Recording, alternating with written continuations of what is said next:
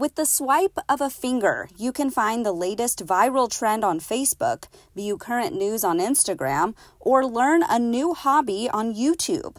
A blessing and a curse as experts learn the costs of having this kind of technology at our fingertips. Tribal youth are, are particularly vulnerable to this sort of, of uh, activity.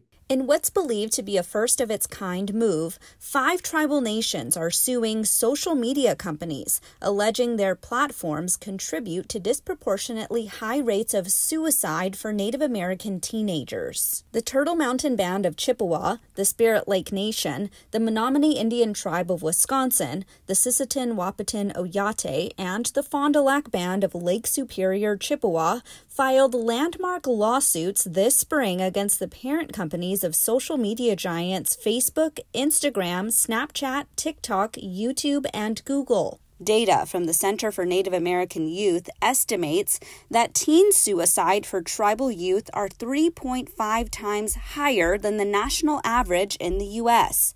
For female Indigenous teens, the number is even more concerning, with the suicide rate being over five times greater than white female teens, according to the CDC. Former U.S. Attorney for the District of North Dakota, Tim Purdon, is the lead counsel on the case for the law firm Robins Kaplan. He tells ICT another public health issue actually helped spur progress. That is the, the opioids litigation uh, that's been brought, I think, in the end, there were well over 250 tribes that sued the opioid manufacturers and distributors. In 2022, Robins Kaplan represented 28 tribes in an opioids case that received a $589 million settlement. In another encouraging boost for the tribes, over 40 state attorneys general filed lawsuits last fall, alleging social media companies keep young users in their apps for longer, keeping them scrolling and checking their pages. Uh, when we saw that, uh, we recognized that, as in the opioid litigation, tribes here are sovereign, just like state attorneys general. They absolutely have the right, the power, the sovereignty to, to file their own cases. Enough is enough. Endless scrolling is rewiring our teenagers' brains, Gena Kakkak, chairwoman of the Menominee Indian Tribe of Wisconsin, told ICT in a statement.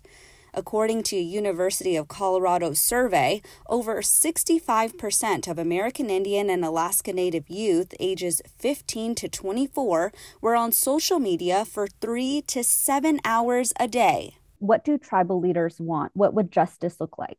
So we seek abatement dollars. Um, in the opioid cases, uh, settlements have produced monies that started flowing to tribes last last year. Many tribes are using them to uh, enhance their uh, drug addiction treatment facilities and and capability on reservation.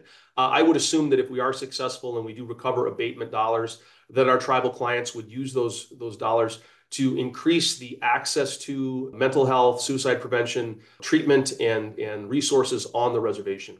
ICT reached out to the defendants in this case and did not hear back. Google responded to the Associated Press in an April article saying the allegations in these complaints are simply not true. And really, what I see here with these this litigation, both in opioids, the opioid cases, and here with the social media cases, is you have a new generation of tribal leaders who certainly uh, want to hold the United States uh, uh, responsible for its trust obligations to the tribes but they also realize that they can use their sovereignty uh, in, in new and powerful ways, like these lawsuits. For ICT, I'm Aaliyah Chavez.